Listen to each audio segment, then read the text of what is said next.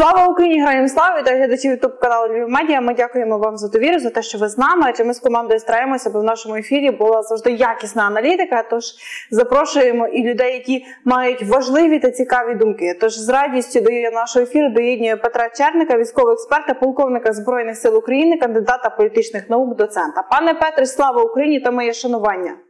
Героям слава! Пане Петре, е, головнокомандувач Сирський е, кілька днів був на східному напрямку фронту нашої держави. Зокрема, виглядає так, що ситуація складна, тому що росіяни намагаються вийти до Курахового та Покровська. Як ви бачите ну, ситуацію саме на цій ділянці фронту? З якими силами вони просуваються вперед? У стратегічному сенсі для росіян нічого не змінилося. В них є завдання виходити на адміністративні кордони Донеччини та Луганщини, і вони будуть намагатися з усіх сил це завдання реалізувати. Чи є в них для цього справжній потенціал? Що таке справжній потенціал? Це коли механізований полк прориває батальйонні тактичні порядки. Батальйонні тактичні порядки це по ширині 3, по глибині 5 кілометрів. За винятком Авдіївки, діаметр Авдіївки 5-8 кілометрів. Вони не мають більше серйозних успішних проривних операцій. Чи будуть мати? Оголосили про створення 14 нових механізованих дивізій, 16 нових механізованих бригад і трьох і двох загальновійськових армії. Багато це чимало. Одна дивізія це 12,5 тисяч особового складу, а бригада це у межах 5 тисяч особового складу. Якщо взяти калькулятор і перемножити, це все до 300 тисяч. Чи можуть швидко цих людей поставити до строю? Ні, не можуть. На цю хвилину за принципом заміщення, бо до 30 тисяч ми їх винищуємо на місяць. Вони можуть працювати. Їм треба піднімати мобілізаційні показники, хоча б до 50-60 тисяч на місяць. Чи можливо це зараз після інаугурації Путіна? Цілком можливо. Чи будуть ці люди забезпечені адекватною технікою? Ні, не будуть. Це будуть чер... чергові м'ясні штурми, з якими ми вже навчилися працювати. Отак воно виглядає все на цю хвилину. Чи буде зміна точки надлому в обов'язковому порядку? Питання лише коли і на чию користь. Я так можу зрозуміти, що це ще озброєння, яке нам мало прийти від Сполучених Штатів Америки, ще поки що воно в дорозі, тому що росіяни постійно звітують про те, що вони мають якісь успіхи, зайшли в села. Вони ну, ми очевидно розуміємо, що вони вже часів яр заходили разів з 10 на моїй пам'яті, але тим не менше часів яр знаходиться під контролем України. Але пане Петре, чи таки ще немає цього західного озброєння? І що ви думаєте стосовно ситуації у часовому яру? Частково почнемо з першої частини вашого запитання. Частково ця зброя вже надійшла, бо інакше ми б не мали трьох блискучих операцій застосування ракет Атакамс. Це по полігону біля Луганська. Одномоментно загинуло більше ніж 100 окупантів. Це удар по аеродрому в Джинкої, де було знищено як як мінімум 5 пускових установок С-300, С-400 і просто неймовірно для них втрата машина синхронізації е, локаторів фундамент. І вже є навіть зараз, от буквально зараз ці хвилини від, від, від, відбувається експертування, що щонайменше дві пускові установки 9К-720 е, Іскандер також зазнало ураження. Ну ми ж розуміємо, що якби цих ракет не було, то ми би такий коефіцієнт корисності не могли показати, особливо в частині, що стосується касетного боєприпасу, бо такі величезне винищення піхоти можливі тільки завдяки такого типу боєприпасів. В часі яр знову ж все логічно з їхнього боку, все дуже логічно. Це наступний пункт у реалізації стратегії кордони Донеччини. Чи вдасться? На цю хвилину 57% окуповано, 43 треба ще пройти. Мається на увазі не часового яру, взагалі всієї Донецької області. Це дуже ще багато їм треба проходити. Бої за Авдіївку тривали 10 років, бої за Бахмут тривали е, 10 місяців, дуже багато. Ну, часів яр серйозно укріплений раз. Звичайно, він суттєво менший, ніж Бахмут там. Е, багато вже є і руйнацій, але це ще і мережа водних перешкод. І додати сьогодні перешкоди їх буде ой як не легко. Уважаю, що битва почалася. Як довго вона буде тривати? Ну, на мій погляд, це місяці. А якби дійсно ми наситилися великою кількістю у першу чергу далекобійних ракет і нарешті запрацювали F-16, то ми би навіть могли щось покращувати не тільки у локальному сенсі, а й в більш ширшому. Скажімо, в моєму розумінні для нас була би третя супер блискуча операція. Я її називаю Північне Поазов'я. Вийти до молочного лиману і там закріпитися. Велика кількість ракетобомбового навантаження до F-16, велика кількість артилерії і велика кількість далекобійних ракет можуть допомогти реалізувати це завдання. А скажіть, будь ласка, вийти до північного прив'язов'я. Це ну я розумію, що знаєте, такі прогнози ставити дуже дуже невдячна справа. Але пане Петре, це орієнтовно скільки часу нам потрібно? Чи все Якщо багато озброєння? Все залежить від зброї. Знову ж кількість зброї. От я приведу дуже зрозумілий приклад, я казав, я такий великий політичний мислитель, реаліст Нікола Макіавелі, всі знають його працю державець. В нього є геніальний вислів. Якщо хочеш знати, як буде, вивчи, як було. От все, що треба вивчити. Е, буря в постелі, війна 1990-1991 року Перській затоці, велика коаліція вибивала Саддама Хусейна з Кувейта. Вибили.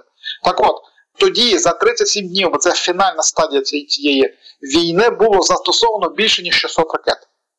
Атакамс, саме Атакамс. Вони тоді ще були дуже молоденькі, ті ракети, бо вони 1988 року розробки буквально можна сказати, з гарячого цеху їх кинули на передову. Звичайно, вони ще не не були такі якісні в частині е, наведені, які вони є на цю хвилину, але були добре, що застосовувалося від 20 до сотні ракет. Це при тому, що армія Саддама Хусейма не співмірна навіть з теперішньою, потріпаною, побитою, полущеною, але все ж таки ще й поки що другою армією світу. Мені важко уявити, що ми за одну добу можемо одномоментно застосувати 20 ракет, не кажучи про 600 у межах місяця. От що таке порядковість. Порядковість зброї. Тепер знову ж таки та сама операція буря у постелі. На озброєннях у союзників 1700 літаків, 1700. Нам дають 60 F-16. Ну Ми ж розуміємо, які неспівмірні відстані майже майже в 30 разів. Майже у 30 разів переважали по авіації за знову тих самих 30 днів здійснили 100 тисяч літаковильотів. Це, це це важко усвідомити. То а тепер ставимо собі нашого противника і розуміємо, скільки ж тої зброї треба, щоб по-справжньому рухатися вперед. Але на відміну від реакцію ми показали супермайстерність інтелекту, мотивації і організованості. Ну минулого року, як би то не було лінію Суровікіна, ми прорубали 10 на 10 кілометрів, не маючи переваги у повітрі, не маючи далекобійних ракет, але ми це зробили. Отже, знову ж таки, при нашому умінні воювати, дайте нам достатньо великої кількості зброї, ми точно показуємо чудеса. Але, на жаль, не дають такими темпами, як би нам цього хотілося. Ви згадали про F-16, і ми про не про не про ці літаки говоримо ну вже років зо два так точно, напевно, якщо не не більше, якщо не з перших днів повномасштабного вторгнення, коли всі казали закрити нам небо, допоможіть нам авіацією і тому подібне. Але от зараз, е, коли F-16 вже от ми наближаємося десь до тих часових рамок, коли ці літаки мали би появитися в нашому повітряному просторі на озброєнні наших е, сил, е, МЗС Росії говорить про те, що вони сприйматимуть появу F-16 в Україні як носів ядерної зброї незалежно від їх модифікації. Е, нам ж їх насправді багато не дають, так і так як ви сказали, скільки би нам було потрібно. Але чому така гостра реакція в росіян? Елементарно просто це означає, що її по-справжньому бояться. Все. Це дійсно та зброя, яка може докорінно все поміняти. Навіть шість машин, всього-навсього шість машин можуть змінити філософію бою у частині, що стосується застосування коректованих авіаційних бомб. Чому? В основному оці каби. Е, калібрів ФАБ 250, ФАБ 500 і УПАП 1500 скидаються з Су-34. Він мусить дуже високо підніматися у повітря на відстані 10-15 кілометрів вгору, практично максимальна його стеля, і з цієї відстані, з відстані 40-70 кілометрів, скидати цю, цю планерну бомбу, бо інакше вона не, не дійде до цілі, їй треба розігнатися, якщо вона буде на нижчих висотах. Це фантастична ціль, це блискуча ціль, це прекрасна ціль. F-16 має 6 ракет на борту AIM-120, а вона 180 кілометрів. Плюс це мережева машина. Що це таке? Ми маємо теж дещо хибне розуміння, що е, винищувач конче має своїм локатором побачити ціль, тобто підсвітити ту ціль. І дійсно навіть Том Купер написав, що відстані, на яких підсвічує F-16, не е, поступаються відстаням, яких під, на яких підсвічують Су-30 чи Су-35. Але є нюанс, це мережева машина. Що це означає? Локатор, мін 104 Патріот, який працює на 600 кілометрів, запросто допомагає F-16 тому цю ціль обчислити і подає комп'ютери прямо у е, кабіну пілота всі ціле покладання. Йому можуть зробити невеликі маніпуляції, щоб запустити 2-3 ракети. Як як тільки ракети полетіли у бік Су-34, він приречений. Підкреслюю. Він переречений. І ми дійсно могли би тут чогось досягнути. Але ж знову таки треба, щоб вони нарешті з'явилися. Росіяни це розуміють, розуміють, наскільки це будуть серйозні для них утрати, особливо по сутрати четвертих, і вдаються до зрозумілого для себе єдиного шантажу ядерний блеф чи можливо реальність. Я не знаю. А скажіть, а в них є якісь е, озброєння, машини, можливо, реби, які можуть е, погіршити роботу F-16, повпливати на роботу? На саму машину нічого в них не попливає, тільки на ракету, котра, залежно від того, який тип самонаведення, підходить до цілі. Звичайно, є у комплекті до тих самих су четвертих найрізноманітніший тип радіоелектронної боротьби, але у підсумку, в загальному розумінні, багаторакетний залп завжди досягає цілі. Тому ніколи не запускають одну ракету, запускають одну, дві, три. Бо одну-дві можна відхилити, а третя або четверта обов'язково цілі досягає.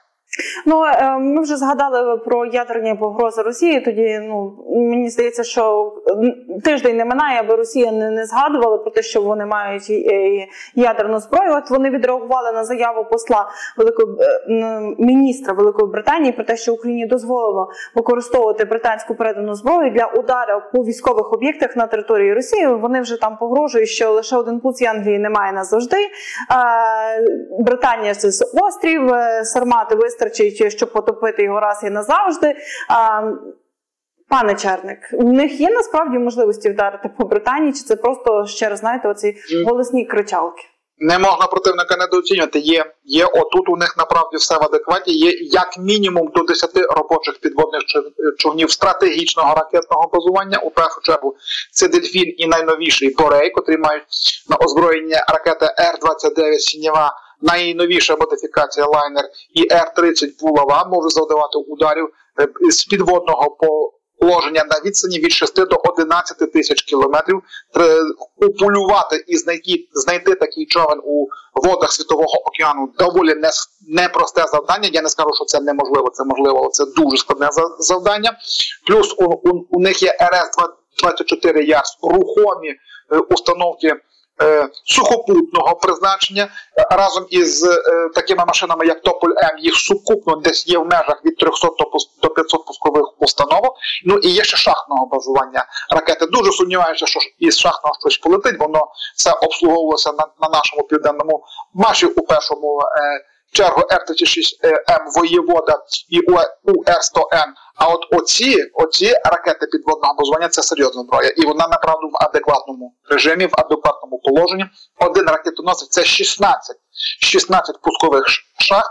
Е, одна ракета може брати на борт від 3 до 12 боєголовок. Все залежить, який кіно.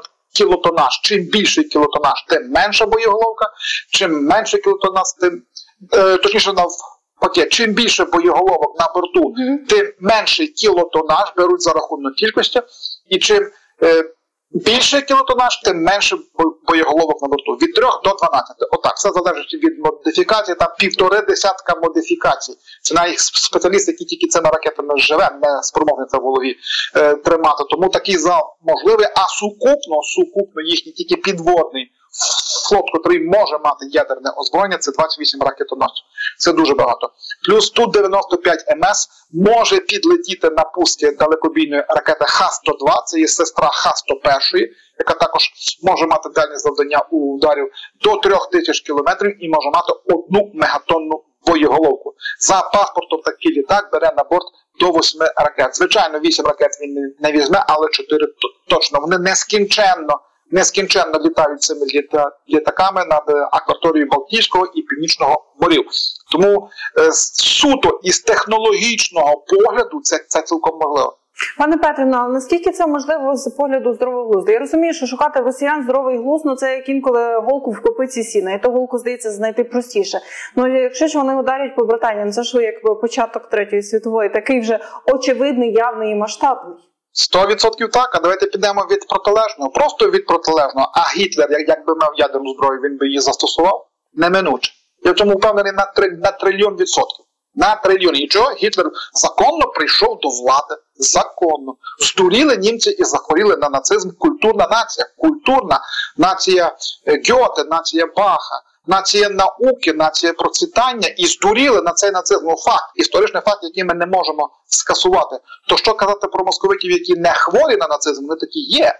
Вони такі собі є, відколи постало їхнє те московське царство ще за часів Івана Грозного. Вони схиблені на світовому домінуванні, і вони схиблені на якомусь своєму окремому шляху. Путін, до речі, своїми вустами проказав, хто-то хоче уничтожити Росію. Ну, якщо в цьому мірі Росії нет, то зачем нам мир? Дослівно процитав свідомо вивчив цю фразу. І якщо ви думаєте, що він блефує, то я так не вважаю.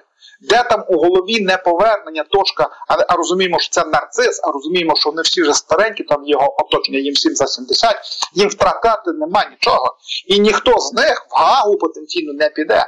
Тому де точка неповернення, я не знаю. Годинник судного дня переведений на 30 секунд уперед. Чи дійде до справжнього ядерного апокаліпсису, знає тільки Господь Бог. А пане Петре, ці заяви погрози Британії можуть Україну стримувати від використання зброї, наданої Сполученим Королівством для ударів по військових об'єктах на території Російської Федерації? А нам нам є що бити на території окупованої нашої країни. Тільки один Крим це більше більше ніж 250 найрізноманітніших воєнних об'єктів. Ми стільки ракет не маємо. Е, британці декларують, декларують, що не всього на озброєнні до до 400 ракет. Ми розуміємо, що ми все нам не передали. Передали нам кілька десятків, то ми навіть ну ми, ми навіть на десяту частину не ще не переорали все те, що там є переорювати. Тому нащо бити більшу ціль, як якщо ще менше ціль не знищить. Пане Петре, я вам дякую за те, що знайшли час вийти до нас в ефір. В ефірі Львів Медіа був Петро Черник, військовий експерт, полковник збройних сил України, кандидат політичних наук, доцент. Пане Петре, дякую та моє шанування.